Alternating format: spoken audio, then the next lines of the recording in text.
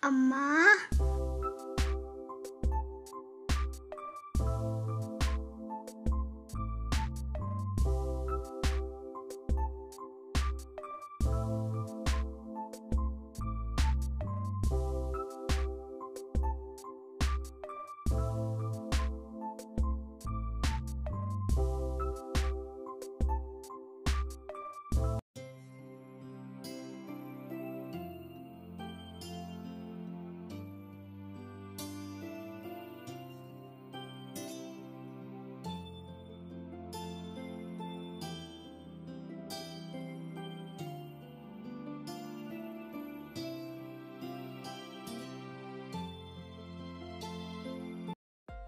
hi friends good afternoon welcome back to my channel ఎలా ఉన్నారు friends మీరందరూ?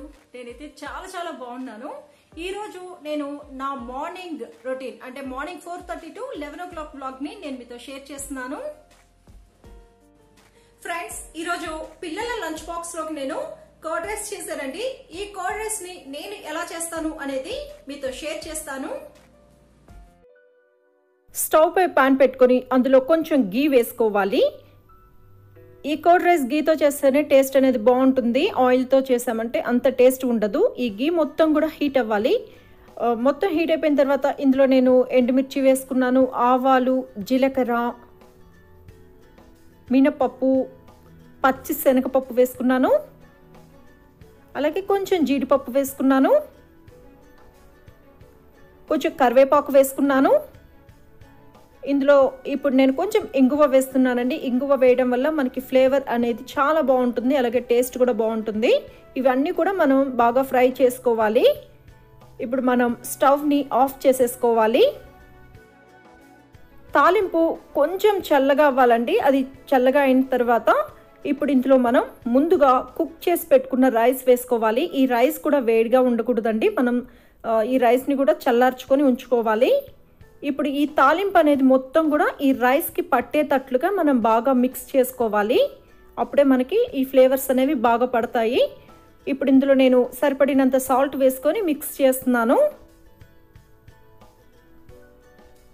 ఇప్పుడు ఇందులో మనం కర్డ్ వేసుకోవాలి. కర్డ్ వేసుకున్న తర్వాత మనం బాగా మిక్స్ చేసుకోవాలి. కర్డ్ రైస్ రెడీ అయిపోయిందండి.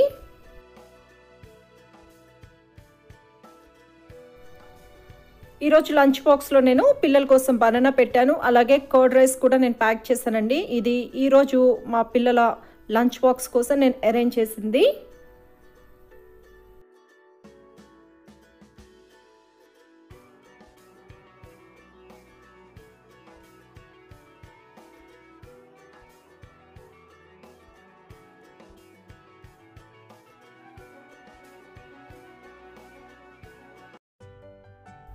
శ్రీదేవి మీరు చాలా రోజుల నుంచి అడుగుతూ ఉన్నారు కదా బాబా విగ్రహం చూపించమని షిర్డీ నుంచి తీసుకొచ్చింది. కాబట్టి ఈరోజు ఈ క్లిప్పింగ్ని మీకోసం యాడ్ చేస్తున్నాను.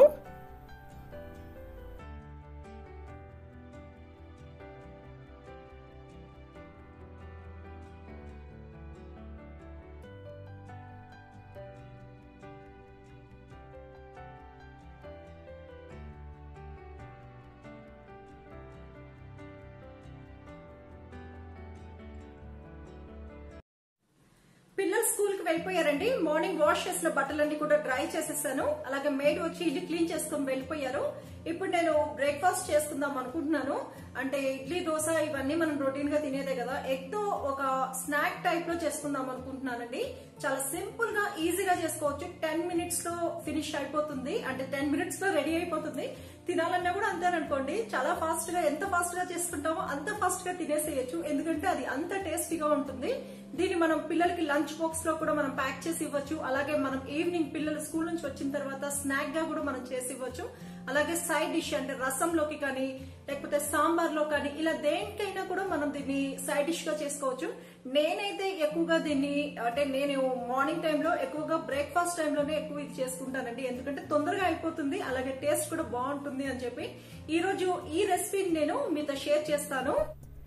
నేను ఒక బౌల్లో ఎగ్స్ తీసుకున్నాను. నేను త్రీ ఎగ్స్ తీసుకున్నానండి. ఇందులో కొంచెం సాల్ట్ వేసుకున్నాను. అలాగే కొంచెం పెప్పర్ పౌడర్ వేసుకున్నాను. ఇప్పుడు దీన్ని మనం బాగా బీట్ చేసుకోవాలి.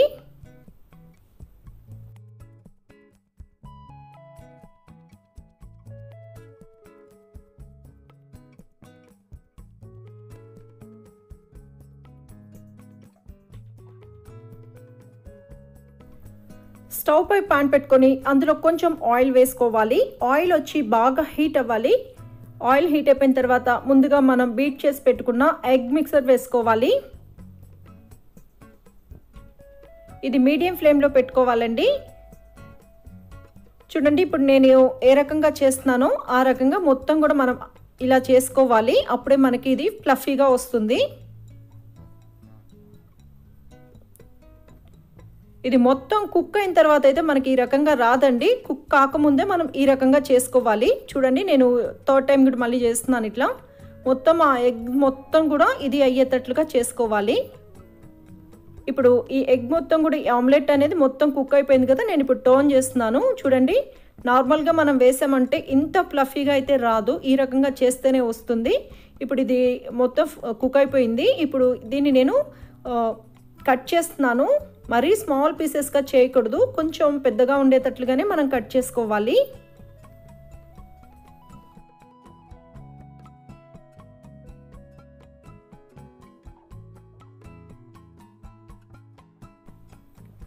చూడండి ఈ రకంగా మనం కట్ చేసుకోవాలి. తర్వాత మనం టర్న్ చేసేసి నెక్స్ట్ సైడ్ అంటే సెకండ్ సైడ్ కూడా మొత్తం కూడా బాగా ఫ్రై అయ్యేటట్లుగా చూసుకోవాలి.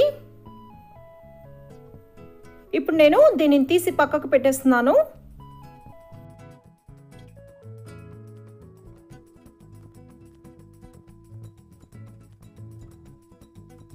ఇప్పుడు సేమ్ పాన్లో కొంచెం ఆయిల్ వేసుకున్నాను. ఆయిల్ హీట్ అయిపోయిన తర్వాత ఇందులో ఒక ఆనియన్ని కట్ చేసుకొని వేసుకున్నాను. ఈ ఆనియన్ వచ్చి బాగా ఫ్రై అవ్వాలి.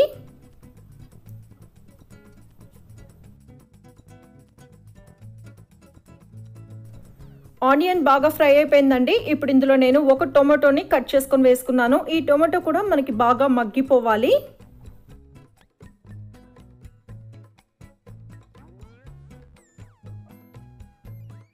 టొమాటో కూడా మగ్గిపోయింది. ఇప్పుడు ఇందులో మనం కొంచెం సాల్ట్ వేసుకోవాలి. అలాగే కొంచెం చిల్లీ పౌడర్ వేసుకోవాలి. సాల్ట్ వేసిన క్లిప్పింగ్ మిస్ అయిందండి. మనం సాల్ట్ వేసుకొని తర్వాత కొంచెం చిల్లీ పౌడర్ వేసుకొని మొత్తం కూడా మనం బాగా ఫ్రై చేసుకోవాలి.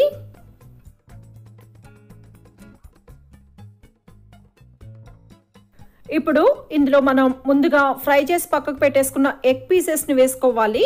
ఈ ఎగ్ పీసెస్ని మనం టోన్ చేసుకుంటూ ఫ్రై చేసుకోవాలండి. అప్పుడే మనకి ఈ మసాలా అనేది మొత్తం కూడా ఎగ్ పీసెస్కి పడుతుంది. ఒక టూ మినిట్స్ మీడియం ఫ్లేమ్లో పెట్టుకొని మనం ఈ రకంగా ఫ్రై చేసుకోవాలి.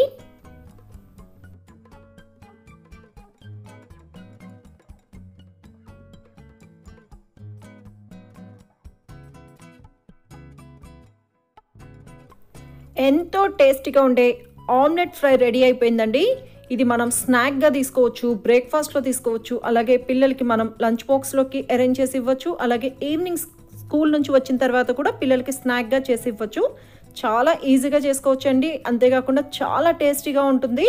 మీరు కూడా ఒకసారి రెసిపీని తప్పకుండా ట్రై చేయండి. ట్రై చేసి టేస్ట్ ఎలా ఉంది అనేది నా కమెంట్ సెక్షన్లో మెన్షన్ చేయండి.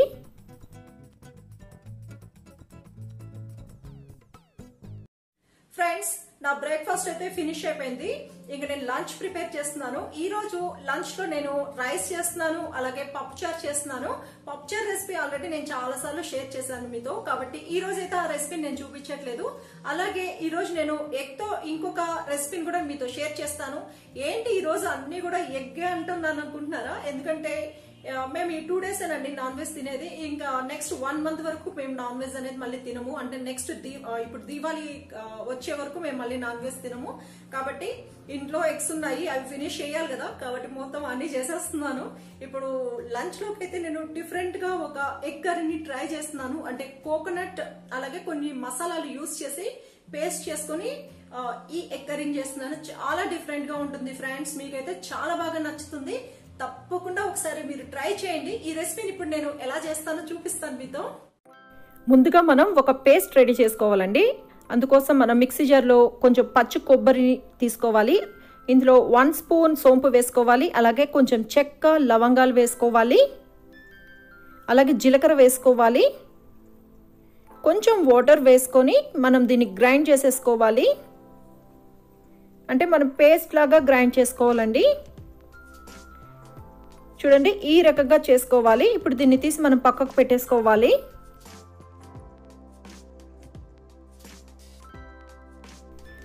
ఇప్పుడు నేను స్టవ్ పై క్లే కడాయి పెట్టుకున్నానండి. కావాలంటే మీరు పాన్ అవి కూడా ఏదైనా పెట్టుకోవచ్చు. అంటే నా దగ్గర ఇది ఉంది. ఈ రెసిపీ వచ్చి నేను ఈరోజు క్లే దాంట్లో చేద్దాం అనుకుంటున్నాను. ఇందులో కొంచెం ఆయిల్ వేసుకున్నాను. ఆయిల్ హీట్ అయిపోయిన తర్వాత ఒక త్రీ ఆనియన్స్ని సన్నగా కట్ చేసుకున్నానండి. ఈ ఆనియన్స్ని ఇందులో వేసుకొని ఫ్రై చేసుకుంటున్నాను. ఆనియన్ కొంచెం ట్రాన్స్పరెంట్గా అయ్యాయి. ఇప్పుడు ఇందులో one spoon ginger garlic paste వేసుకున్నాను. జింజర్ గార్లిక్ పేస్ట్లోని రా స్మెల్ అనేది మొత్తం కూడా పోవాలి. అంతవరకు మనం బాగా ఫ్రై చేసుకోవాలి. అలాగే కలర్ కూడా చేంజ్ అవ్వాలండి. చూడండి మనం ఆనియన్స్ అంతా కూడా ఈ కలర్ వచ్చేంత వరకు బ్రౌన్ కలర్ వచ్చేంత వరకు మనం బాగా ఫ్రై చేసుకోవాలి. నేను ఒక త్రీ టొమాటోస్ని మిక్సీలో వేసుకొని పేస్ట్ లాగా చేసుకున్నాను. ఇందుకు వచ్చి మనకి బాగా పండిన టొమాటో వేస్తేనే టేస్ట్ బాగుంటుంది. ఈ టొమాటో కూడా బాగా మగ్గిపోవాలండి. అంటే మనం వేసిన ఆయిల్ అనేది కొంచెం పైకి రావాలి. అంతవరకు మనం టొమాటోని బాగా కుక్ చేసుకోవాలి. నేను ఇప్పుడు మూత పెట్టేసి ఒక ఫైవ్ మినిట్స్ కుక్ చేసుకుంటాను. ఫైవ్ మినిట్స్ అయిందండి. ఇప్పుడు నేను మూత తీసేస్తాను చూడండి టొమాటో మొత్తం కూడా బాగా మగ్గిపోయింది. ఒకసారి మొత్తం కూడా బాగా మిక్స్ చేసుకుందాము.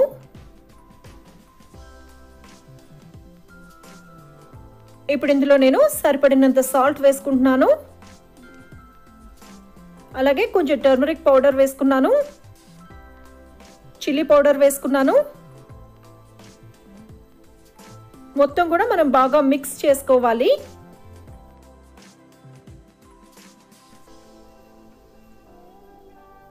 ఒక టూ మినిట్స్ ఇలానే మనం ఫ్రై చేసుకోవాలి. ఇప్పుడు ఇందులో మనం ముందుగా రెడీ చేసి పెట్టుకున్న కోకోనట్ మసాలా పేస్ట్ వేసుకోవాలి. ఈ రెసిపీకి వచ్చి ఈ పేస్ట్ వల్లనే మనకి టేస్ట్ అనేది బాగుంటుంది. ఈ కోకోనట్ పేస్ట్ వేసుకున్న తర్వాత మనం మీడియం ఫ్లేమ్లో బాగా ఫ్రై చేసుకోవాలి. చూడండి మొత్తం కుక్ అయిపోయింది. ఇప్పుడు ఇందులో నేను వాటర్ వేస్తున్నాను. నేను వన్ కప్ వాటర్ వేసుకున్నాను. మొత్తం కూడా మనం బాగా మిక్స్ చేసుకోవాలి. నేను మూత పెట్టేసుకొని ఇంకొంచెం సేపు కుక్ చేసుకుంటాను.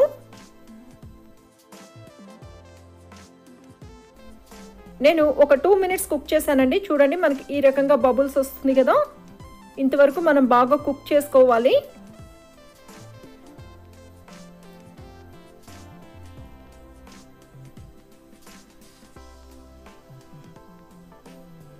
ఇప్పుడు ఇందులో మనం ఎగ్ వేసుకోవాలి.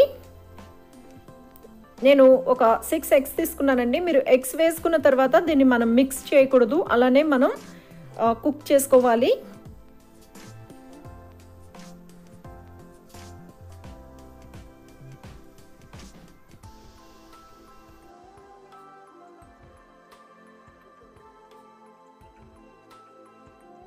ఫైవ్ మినిట్స్ మనం అలానే కుక్ చేసుకోవాలండి. ఫైవ్ మినిట్స్ తర్వాత మనం టోన్ చేసుకోవాలి.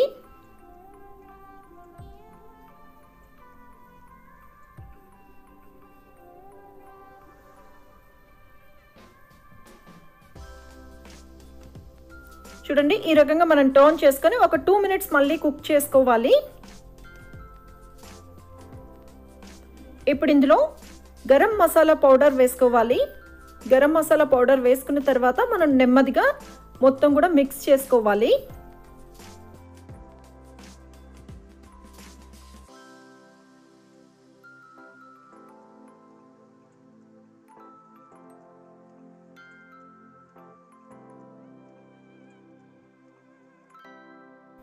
ఎంతో టేస్టీగా ఉండే ఎగ్ కర్రీ రెడీ అయిపోయిందండి.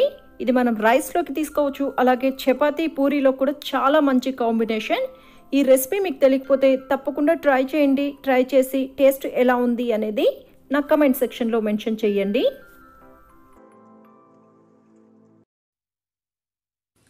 ఫ్రెండ్స్ ఇక్కడతో ఈ రోజు నా బ్లాగ్ని ఫినిష్ చేస్తున్నాను. ఈ వీడియో మీకు నచ్చిందనే అనుకుంటున్నాను. ఈ వీడియో కనుక మీకు నచ్చినట్లయితే నా వీడియోని లైక్ చేయండి షేర్ చేయండి కామెంట్ చేయండి. అలాగే నా ఛానల్ని సబ్స్క్రైబ్ చేసుకోకపోతే తప్పకుండా సబ్స్క్రైబ్ చేసుకోండి. Thanks for watching